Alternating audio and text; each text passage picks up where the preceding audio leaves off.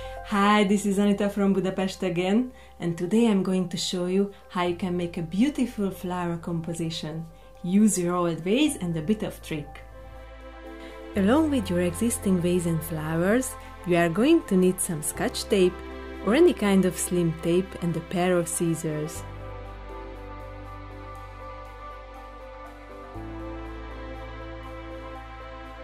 Start with sticking the stripes of the tapes to the vase, as you can see it on the video.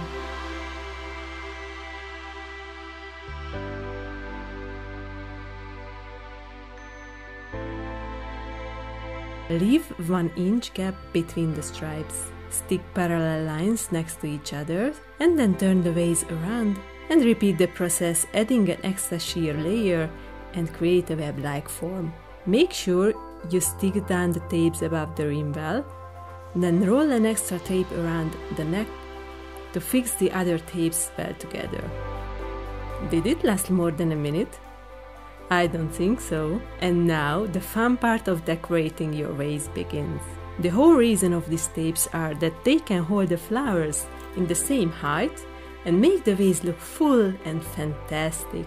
Like this, your flower will not sink into the bottom of the vase and they can show their real beauty.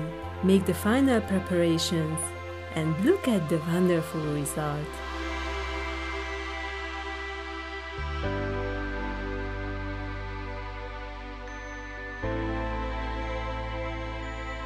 And all this in just a few minutes.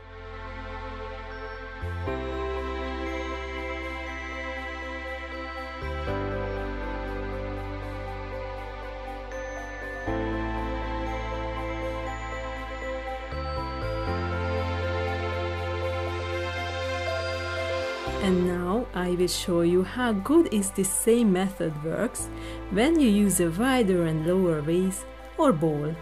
Prepare the bowl similarly as you did it with the vase last time. Cut the flowers shorter and fill out the gaps with them.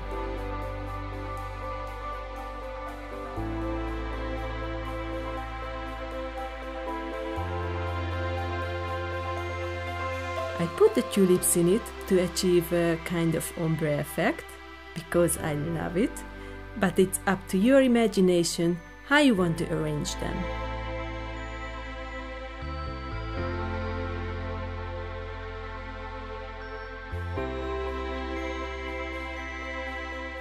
After all the flowers are in, you can cut down the visible pieces of the tapes and arrange the sides nicely.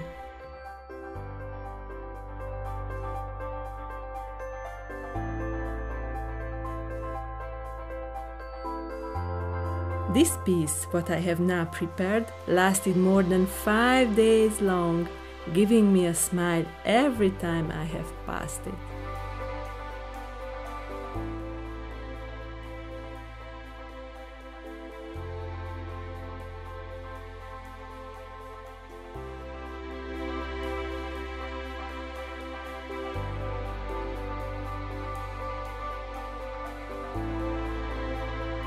If you like this video, hit the like button and have a nice and creative day. See you next time!